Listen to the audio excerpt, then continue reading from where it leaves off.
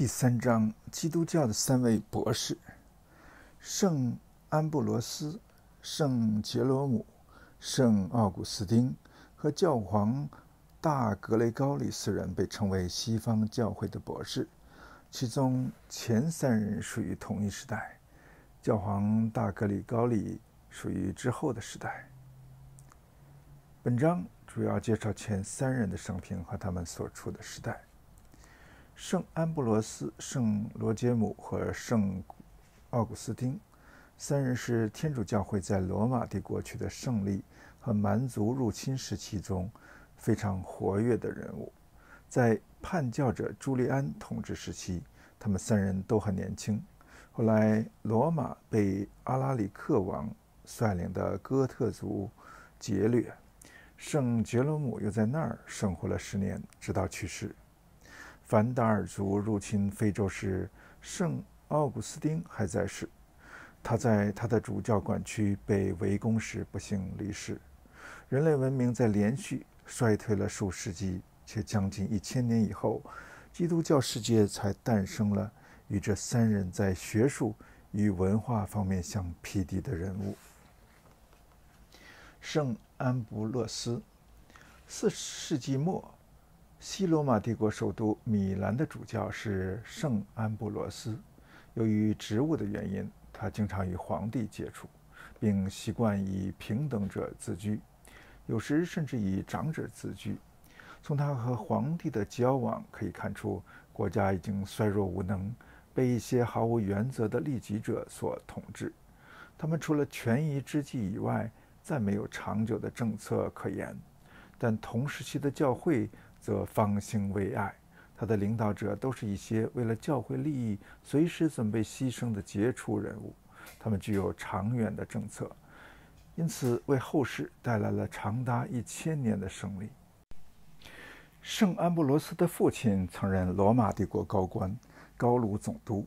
圣安布罗斯可能生在托莱府，一个国境边上的城镇，为了防止日耳曼人入侵。这里驻屯着罗马军队。圣安布罗斯十三岁到了罗马，在那里他受到了良好的教育，打下了良好的希腊语基础，并在成年后专攻法律。之后，他在这方面获得很大成就。三十岁时，他被任命为列古里亚和伊米里亚两个地方的总督。虽然在仕途上取得如此辉煌的成绩，但由于宗教信仰，四年后他竟自动脱离了。四处政治，参与了米兰市的主教竞选。他战胜了一个阿利乌斯派的候选人，在群众的欢呼下登上了米兰市主教的位置。他把自己所有的财产都分给了穷人，冒着遭受人身攻击的危险，把全部精力献给了教会事业。这一选择确实不是出于世俗的动机。对圣安布罗斯来说，这一选择是明智的，因为即使他做了皇帝，也不可能像作为一个主教那样得以充分施展他的才能。在圣安布罗斯任主教的前九年，格雷善是西罗马帝国的皇帝，他是个善良的天主教徒，但由于沉溺呃与狩猎不理国事，他最终被人谋害。具有西罗马帝国大半领土的马克西姆斯篡夺了王位，但继承意大利王位的是格雷善年幼的弟弟瓦林提尼二世，因为他尚未成年，就由母后查士丁娜摄政，而他是阿利乌斯教派的信徒，因此就与圣安布罗斯纷争不断。本章所叙述的三位圣徒都曾写过很多书信，其中相当一部分被保存到今天，这对我们了解他们的学说提供了极大的方便。圣奥古斯丁的信的内容主要是关于教义和教会的戒律问题，圣杰罗姆的书信多数是写给妇女们的，他在信中劝告他们如何保持童真，而圣安布罗斯的信则主要是写给皇帝的。他在信中指出他们在哪些方面没有尽到作为皇帝的义务，有时也祝贺他们能够恪守职责。圣安布罗斯最初必须解决的公共问题是为罗马的胜利女神祭坛与塑像的问题。在首都，元老家族比其他任何地方都更长久地保持着异教信仰。官方的宗教被掌握在僧侣手中，他们的利益与帝国的利益结合在一起。元老院内的胜利女神塑像被君士坦丁的儿子君士坦丁乌斯撤掉，但不久又被叛教者朱利安恢复了，后又被格雷善皇帝重新撤掉。于是，以罗马市市长西马乌斯为首的元老院代表们提出了重新恢复胜利女神塑像的要求。然而，这个提议遭到了基督教。基督徒元老院议员们的反对，他们的要求因为得到了圣安布罗斯和教皇达马苏斯的支持而获得了皇帝的批准。格雷善皇帝死后，西马库斯和异教徒的元老院议员们于384年又向新继位的皇帝瓦伦提尼安二世提出了同样的要求。为了阻止这一企图，圣安布罗斯在给皇帝的上书中写道：“正如所有罗马人对皇帝有服兵役的义务一样，皇帝对全能之神同样有服役的责任。”他说：“不能让任何人利用陛下年幼。如果是异教徒提出这个要求，那么他是想以自己的迷信来束缚陛下的精神，这是极不正当的。他应该用他的热情启发并激励殿下。”陛下树立真正的信仰，而他竟全力为虚妄的事辩护。圣安布洛斯认为，强制基督徒向偶像的祭坛宣誓是一种迫害。他说：“如是民事案件，可以把答辩权留给反动派，但这是个宗教案件。如果陛下真要进行裁定，我等主教如此绝不能忍受，也不会。”置若罔闻，陛下固然可以走进教会中来，但那时陛下一定找不到一个祭司，即使找到一个，也必定是反对陛下的。他在另外一封书信中指出，教会的财产是用于维持平民生计的，请他们计算一下，神庙收过多少俘虏？俘虏？他们对穷人供应过什么食品？他们对哪些流亡者提供过生活费用？这是个极有说服力的例证。圣安布罗斯的论点取得了胜利，但以后偏袒异教徒的篡位者尤金尼乌斯又恢复了该祭坛和塑像，一直到394年迪奥多修斯战胜尤金尼乌斯之后，这问题才按基督徒的意愿获得了最后的解决。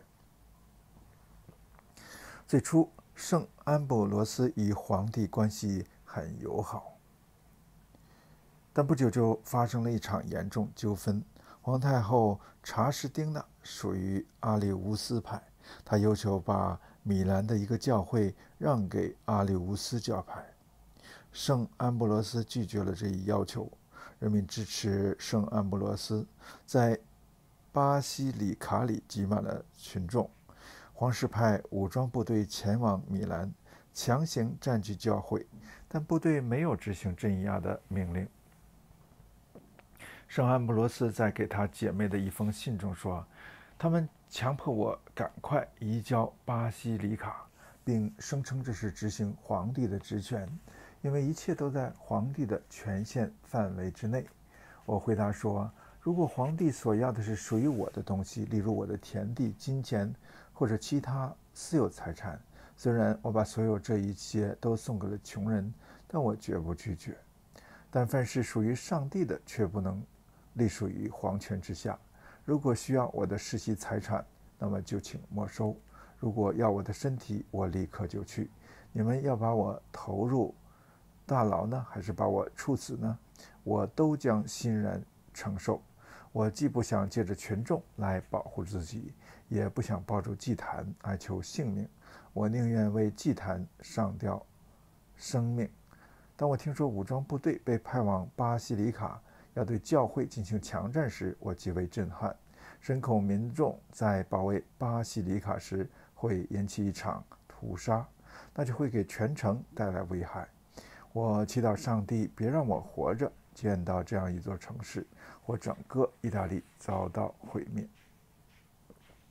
这种恐怖并非杞人忧天，因为哥特军队历史上就以逞凶蛮干闻名。圣安布罗斯的强硬得到了群众的支持。有人说他煽动群众，他回答说：“不去激动他们是我权限以内的事，但是他们平静下来却是上帝的事。”据圣安布罗斯说，因为市民中间没有一个阿里乌斯教派，所以阿里乌斯教派中谁也不敢挺身而出。当局正式命令他交出巴西里卡，军队也接到命令。在必要时可以使用武力，但最后他们终于拒绝使用武力。在这种情况下，皇帝只好被迫做出让步。在争取教会独立的斗争中，圣安布罗斯取得了伟大的胜利。他证明了国家在某些事务上必须服从教会，并由此建立了一项直到今日仍具有重要性的新原则。之后。他又因为一所犹太人会堂被分事件和迪奥多修斯皇帝发生了一次冲突。东罗马的伯爵报告说，事件出于地方主教的唆使。皇帝命令惩罚纵火犯，同时责令该主教重建这所犹太人会堂。圣安布罗斯既未承认，也未否认该主教是否是背后的唆使者。但他对于皇帝袒护犹太人而反对基督徒的行为极为愤慨。这一事件处理起来十分尴尬。如果该主教违抗命令，那他将要成为一个寻道者；如果他屈服，那他将要成为一个叛教者。如果伯爵决定用基督教的钱来重建犹太人会堂，那皇帝就要有一个叛教的伯爵。而基督教的钱财就要用被用来支持异端，难道应该掠夺教会的财物来为犹太人的不幸建立一所会堂吗？难道应该把因为基督的恩赐给基督徒的教会基金送进不幸者的钱库吗？他说：“皇帝陛下，您大概是为了维持法纪这样做的吧？”然而，在法纪与宗教的大义名分之间，究竟哪一项更为重要呢？审判是需要服从宗教的。皇帝陛下，您听说过吗？当朱利安皇帝勒令重修耶路撒冷圣殿时，整理废墟的人们曾被烈火焚尽了吗？皇帝和圣安布罗斯之间最大一次冲突发生在三九零年，这是。迪奥多修斯皇帝正在米兰帖萨罗尼加地方的暴徒杀害了当地的驻军的指挥官。皇帝闻讯后十分震怒，下令进行镇压。当群众聚集在广场时，军队对人民进行了突然袭击，至少屠杀了七千人。圣安布罗斯事先曾剑指皇帝这样做，但毫无效果。事件发生后，他给皇帝写了一封义正。言辞的信，在帖撒罗尼迦发生了一件史无前例的暴行。虽然事前我曾屡次向皇帝上书要求制止，但没有效果。事件过程中我就说过，这事是极其残暴的。假如陛下姓林，我是不敢献祭的。既然使一个无辜者流血之后都不能献祭，难道在使众人流血之后都能献祭吗？认我认为这是断然不可以的。皇帝忏悔了，他在米兰教堂里脱下紫袍，当众举行了忏悔式。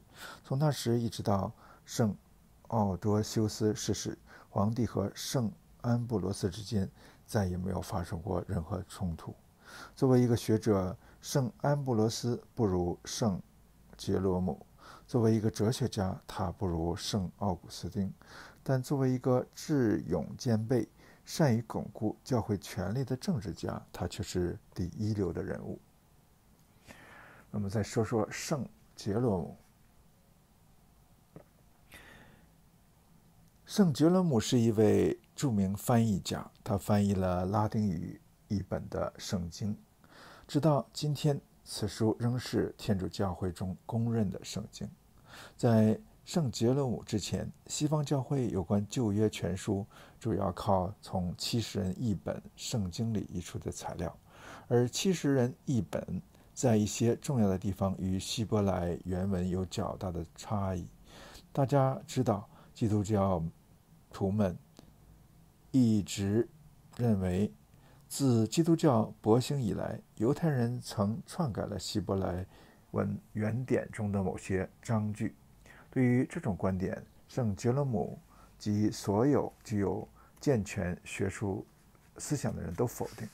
对于基督徒的批评，圣杰罗姆回答说：“谁想挑剔这个译本，就让他去问犹太人。”由于他承认了犹太人的希伯来文原点，因此他的译本在最初曾受到很多人敌视。之后，由于圣奥古斯丁的支持，他的一本终于被世人承认，这是一个伟大的成就。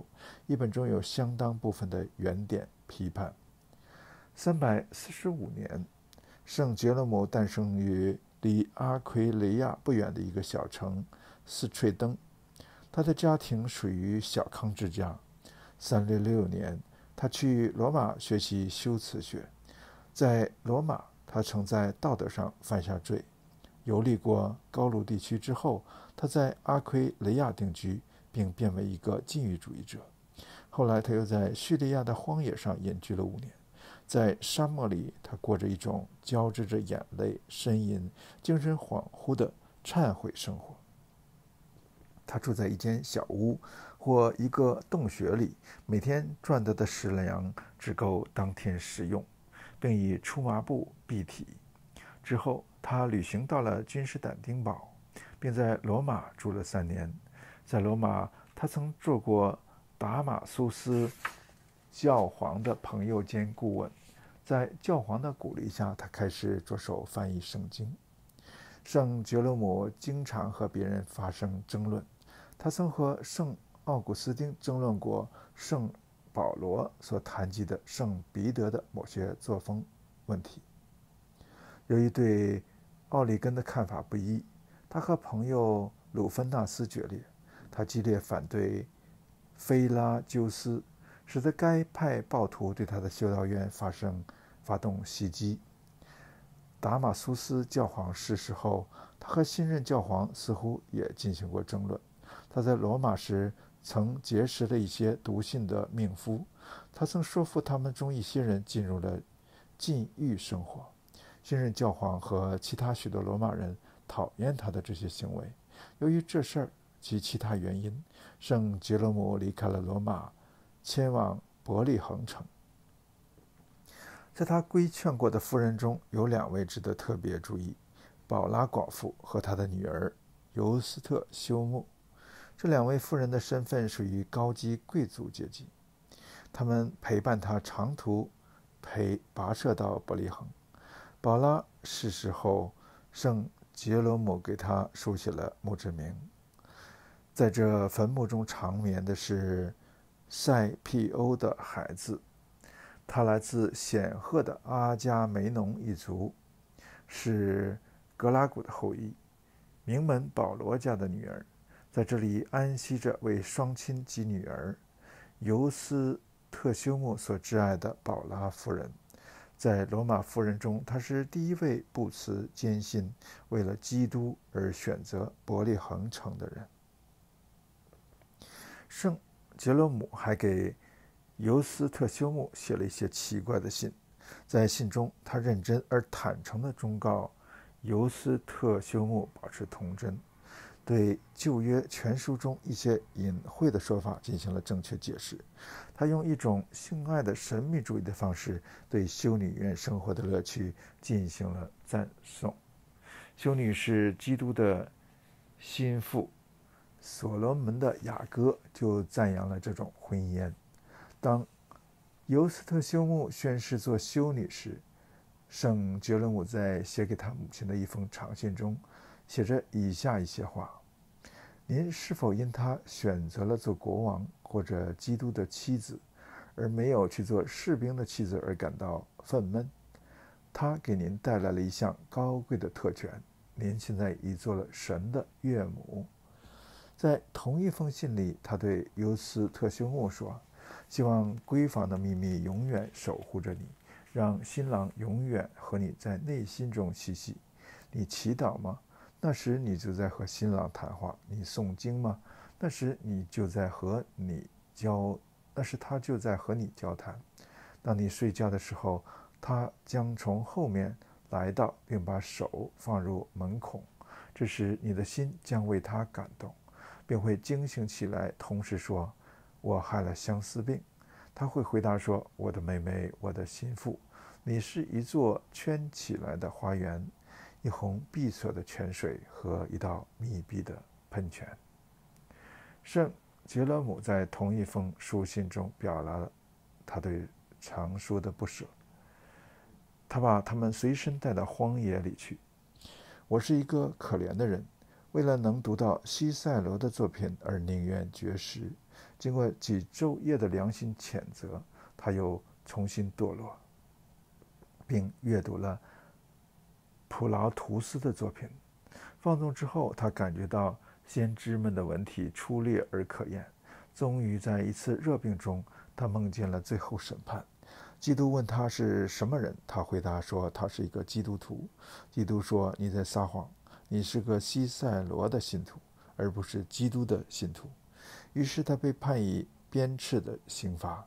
最后他在梦中喊道：“主，如果我再藏有世俗的书籍，或者如再阅读这类东西，我就是自绝于我主了。”后来的几年里，他在书简中极少引用古典词句，但一段时期后，他又开始在文中引用维吉尔、赫拉斯以及。奥维德的诗句，相比其他作品，圣杰罗姆的书信更能体现出罗马帝国的衰亡对他内心的影响。他在三九六年写道：“现在的种种灾难令我不寒而栗。二十多年来，罗马人的鲜血日夜流淌，浸红了君士坦丁堡到朱利安阿尔卑斯山区的每一寸土地。哥特人、萨马齐亚人。”库阿蒂人、阿兰人、匈奴人、达旺旺达尔人，以及边境地区的人们四处劫掠，他们的铁蹄踏遍了塞西亚、色雷斯、马其顿、达西亚、特萨里、亚盖亚、艾贝鲁斯、达尔马齐亚以及潘纳尼亚等地。罗马世界陷入衰落，但我们不会低头，只会昂得更高。格林多人、雅典人、拉西蒂蒙人、阿加迪亚人及其他希腊人在野蛮人的统治下不卑不亢、无比坚毅。这只是少数城市，但都曾是一些伟大国家的首都。他还描述了匈奴人对东罗马帝国的破坏，并在结尾写道：“即便修昔底德和萨鲁斯特在世，他们也找不出恰当的语言。”来叙述这段历史。十七年后，也就是罗马被劫掠后的第三年，他又写道：“世界就要灭亡，是的。而可耻的是，我们的罪却仍在蔓延。这座伟大的城市——罗马帝国的首都，被无情的大火吞噬。地面上到处都是奔走逃亡的罗马人。往昔无比神圣的教会，如今……”已是一片废墟与灰烬，可我们还在放纵自己的利欲。我们仿佛把每一个明天都看作末日，可我们在大兴土木时，又像看到了生命的永恒。墙壁被装饰得辉煌夺目，天花板和柱头也金光熠熠，而基督却像赤贫者一样饿死在我们门前。这段话出自他写给一个朋友的书信。信中主要是在谈教育一个将要做修女的女孩时该遵守哪些戒律。他还在信中提到，保持童真远比打败匈奴人、旺达尔人和哥特人重要。他的这一说法令人唏嘘，他对古代世界衰亡的痛心疾首顿时苍白起来。他从未思考过如何经国济世，也从未谴责财政制度的腐败以及依赖蛮族军队的弊端。圣安布罗斯和圣奥古斯丁也是如此。圣安布罗斯是一位政治家，但他关心的只是教会的利益。他们这样卓越的人都对俗世漠不关心，罗马帝国的衰落也就成为必然。再看看圣奥古斯丁。圣奥古斯丁出生在三五四年，比圣罗杰姆小九岁，比圣安布罗斯小十四岁。他是非洲人，在非洲度过了大部分时光。他母亲是个基督徒，但父亲不是。他最先信奉摩尼教。后又改信了天主教，并在米兰接受了圣安布罗斯的洗礼。大约在三九六年，他做了迦太基附近的希波的主教，并在此定居下来，直到四百三十年逝世。圣奥古斯丁在《忏悔录》中详细记录了他这一时期的生活。这本书在后世有许多效仿者，最著名的是卢梭和托尔斯泰。在圣尔。圣奥古斯丁在许多地方和托尔斯泰相似，但是在智力方面，他远在托尔斯泰之上。他在青年时代虽然放荡不羁，但他是一个富有热情的人，有一种内心冲动促使他去寻求真理与正理。和托尔斯泰一样，他在晚年时也受到罪恶感的折磨，生活变得枯燥无趣，哲学观点也严苛起来。他和异端进行过激烈的斗争，但当然森尼乌斯在17世纪重新阐述他的学说时，却被看作异端。尽管如此，新教徒采纳他的学说之前，天主教会并未对其正统性产生过质疑。忏悔录中记载了这样一件事：一次，他和一帮同伴偷摘了邻居树上的梨。当时他并不感到饥饿，而且家中的梨比偷摘的梨好得多。许多年之后，他对此事一直不能忘怀，终身认为这是一种难以置信的人性邪恶。他认为，如果是因为饿，或者是因为想吃梨，那么这种行为还不至于如此邪恶。而这一恶作剧说明是出于自身对邪恶本身的爱好。这才是最可怕的。于是他请求上帝宽恕他。上帝，请你洞察我的内心，请你洞察我这颗落到地狱底层也为你所怜悯的心吧。现在，请你洞察并让我的心向你诉说，他在那里追求什么？他希望我做个无端的恶者，在没有邪恶引诱的时候去追寻邪恶本身。为幼年时偷摘了几个梨这件事，他写了很多请求上帝宽恕的文章。在今天看来，这几乎是一种病态，但在他所处的时代，这却是神圣的标志。那是犹太人有非常强烈的罪恶意识，这可以作为调和自尊心与外界失败的一种方法。亚威是全能的神，并且，而且对犹太人有特殊的关切。可他们为何兴盛不起来呢？因为他们道德败坏，崇拜偶像，和外邦人通婚，还违背律法。公义是最高的善，而且唯有经受过苦难才能达到。因此，他们必然要先遭受惩罚，并将这种惩罚看作上帝的一种爱。圣奥古斯丁还描绘了他跟母亲学习拉丁语的愉快经历，并直言不讳对希腊语的厌恶。因为他在学校学希腊语时，曾遭受严酷的威胁和惩罚，因此直到晚年，他也没有很好的掌握希腊语。读到这儿，人们可能认为他反对严厉的训诫，提倡温和的教育方式，但他却说，自由的好奇心显然比可怕的义务更义务感更有利，更能推动我们学习新事物。按照你的律法，唯有这种义务感才能约束自由。哦，我的上帝，你的律法给我们注入了某种有益的苦痛，正是这苦痛让我们远离有害的欢乐，重回你面前。圣奥古斯丁在《忏悔录》中说，他不止在儿童时代犯了说谎和偷窃食物等罪，而是在更早的时期就已犯了罪。例如，他用一整篇、一整章篇幅证明，甚至吃奶的婴儿也充满了贪食、嫉妒和其他一些可怕的邪恶。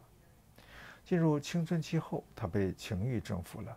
我长到十六岁时，人间邪恶的情欲支配了我。虽然这被你的律法所禁止，但当我完全陷现身其中时，我无从知悉我究竟距离天庭的欢乐有多远。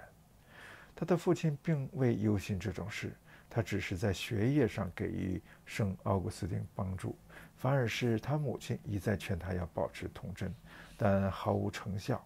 即便如此，母亲在当时也没建议他结婚，担心家世之类会妨碍我的前途。十六岁时，他来到迦太基。他在忏悔录中写道：“在我的周围泛滥着无法无天的爱情，我还没没有恋爱，但却渴望着爱情，同时又憎恨自己的想法。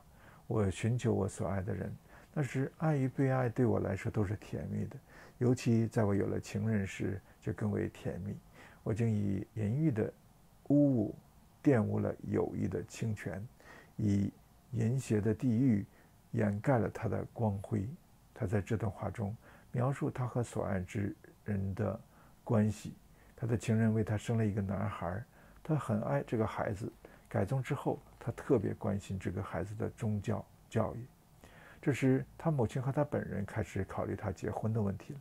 他和母亲喜欢的一个少女订了婚，和以前的情人断绝了关系。他说：“作为结婚的障碍，我的情人被人从我身边拉走了。”我这颗依恋着他的心被人扯裂、受伤和流着鲜血。他把孩子留给我，自己回到非洲。当时圣奥古斯丁住在米兰，并向我发誓绝不和其他男人交往。订婚之后，由于未婚妻还年幼，两年内尚不能举行婚礼。这期间，他又结识了一个情人，但这次是秘密进行的，没有多少人知道。良心使他越来越难以安宁。他经常对主祷告：“主啊，赐给我贞操和克制吧，只是不要在现在。”在他婚期到来之前，宗教终于在身上获得了全胜。从此，他再也没有结婚，终身过着独身生活。十九岁那年，通过西塞罗的作品，他重新回到了哲学。他阅读圣经。发现他缺乏西塞罗式的威严，就在这时，他信奉了摩尼教。这事儿曾使他母亲十分伤心。他是修辞学的专业教师，但又热衷于占星术，因此晚年时甚至提出你的罪之所以不可避免，原因在天上。他努力阅读拉丁文的哲学书据，在没有教师的帮助下，理解了亚里士多德的十大范畴。他说：“我这个充满邪恶情欲的罪人，自行阅读了所谓文艺书籍，懂得了我所能读到的一切。然而，这些究竟与我有了什么益处呢？因为我背向光明，面对着被光照亮的东西，我本身却未得到光辉的照耀。他认为神是一个闪耀光辉的巨大物体，而他则是那个物体的一部分。”圣奥古斯丁最初是反对摩尼教的。有趣的是，他的理由却是关于科学的。他在回忆从卓越的天文学家的作品中学到的知识时说：“我将那些作品跟摩尼基乌斯的观点做了对比。他对冬至、春分、秋分、日月食及其他相关问题做了大量论证，内容之丰富，让人仿佛看到了一个不知疲倦的狂人。”他的那些论证对我没有多少说服力，他们不但与我推算和观察的结果不符，而且他们之间还相互矛盾，但我却不得不去相信。他特别指出，科学上的错误并不代表信仰上的错误，信仰错误的标志是将自己的观点当作权威，并托之于神的灵感。摩尼教中一位知识渊博的著名主教浮士德试图解答他的疑问。他们会面后进行了辩论。圣奥古斯丁说：“我感觉除了语法以外，他他对其他科学几乎一无所知，甚至对于语法知识的掌握，他水平也很一般。但他曾读过塔利的讲演集、某些诗集、塞涅卡的少数作品及带有逻辑色彩的拉丁文摩尼教经卷。他经常讲话，颇有辩论技巧，而且很有良知，散发着儒雅之气。他的雄辩因而显得非常动听。圣奥古斯丁意识到，浮士德根本无法解答他的对某些天文学问题的疑惑。维尼教著作中关于天空、星宿、太阳和月亮的很多内容，与天文学家的发现都不一致。他为此追问浮士德，而浮士德直称他一无所知。他说：“因为这点，我甚至更欣赏他了。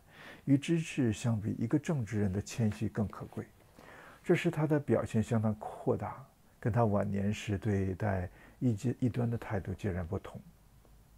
之后，他去了罗马。他说：“这倒不是因为罗马教师的收入比迦太基优厚，而是因为那里上课的秩序比较好。在迦太基，学生们闹得教师几乎无法授课；在罗马，课堂秩序虽然较好，但学生们却经常借故拖欠学费。”在罗马生活期间，他仍然和摩尼教徒互相来往，但已不大相信他们的观念了。他认为学院派主张人应该怀疑一切的说法是正确的。同时，他也认为摩尼教并不是我们本身犯罪，而是其他某种天性在我们内部犯罪的说法是正确的。他相信恶魔是一种具有实体的东西。这些都说明他改宗之前其思想曾被罪恶的问题所缠绕。他在罗马大约住了一年，西马库斯长官就把他送到米兰。在米兰，他结识了圣安布罗斯，这是一位被称为全世界知名人士中最杰出的人物。他在天主教教义与摩尼教教义之间，他逐渐倾向了前者，但受学院派怀疑主义的影响，他一时还有些犹豫不决。他说：“那些哲学家没有基督救赎之名。”因此，我绝不会将自己病弱的心交托给他们。在米兰时，他和母亲住在一起，母亲对他的改宗起了很大作用。他是个热心的天主教徒。许多年以后，圣奥古斯丁总是以一种尊敬的笔调来叙述自己的母亲。圣奥古斯丁在《忏悔录》中还将柏拉图哲学与基督教教义进行了对比。他说：“主赐予他一些由……”希腊文译成拉丁文的柏拉图主义者的著作，有些地方虽然不够准确，但从不同的角度出发，我仍洞察到某些意志。太初有道，道与上帝同在，道就是上帝。万物是他创造的，没有他就没有万物。他所创造的是生命，这生命就是人的光。光照向黑暗，可黑暗却不接受。只有上帝，上帝的道才是真正的光。他照亮世上所有人，但我并没有在其中读到。他到属于自己的地方来，他自己的人却不接待他。接待他的都是信他名的人。他赐予他们权柄，成为上帝的儿女。也没有读到道成肉身住在我们中间，或因耶稣的名无不屈膝之类的话。总而言之，在柏拉图主义者的著作中，他找到了形而上学的道之教义，但。没有发现道成肉身和人类救赎的教义，在奥尔弗斯教或其他神秘宗教中，曾存有类似这些教义的元素，但圣奥古斯丁对此毫无了解。与二元论者的摩尼教徒相反，圣奥古斯丁开始相信，罪恶并不起源于某种实体，而是起源于意志中的邪恶。他在圣保罗的著作中。找到了安慰。经过内心的反复斗争，他终于改信了宗教。那是三百八十六年，他抛弃了教职、情人和未婚妻。